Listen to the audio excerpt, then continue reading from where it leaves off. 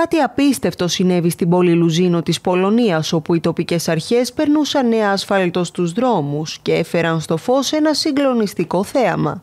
Σκάβοντας βρήκαν έναν ομαδικό τάφο με 450 σκελετούς, αλλά ο τρόπος με τον οποίο είχαν ταφεί δείχνει ότι ήταν κάτι παραπάνω από ένα τεράστιο έγκλημα. Τα κεφάλια των σκελετών δεν ήταν στους ώμους, αλλά ήταν τοποθετημένα στα πόδια τους.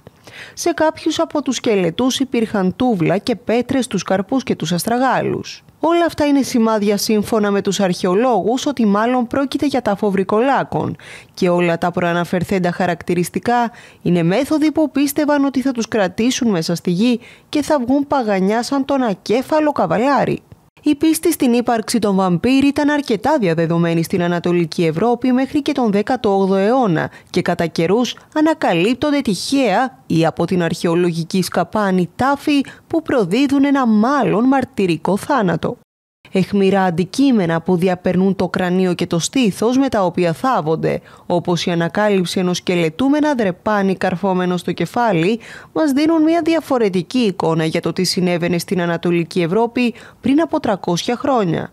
Σύμφωνα με όσα πίστευαν εκείνη την εποχή, αν μετά το θάνατο κάποιου άρχιζαν να πεθαίνουν στα ξαφνικά και διάφοροι κοντινοί τους συγγενείς, τότε είχαν να κάνουν με μια υπόθεση βαμπυρισμού και έπρεπε να ληφθούν δραστικά μέτρα για να μην εξαπλωθεί η κατάρα.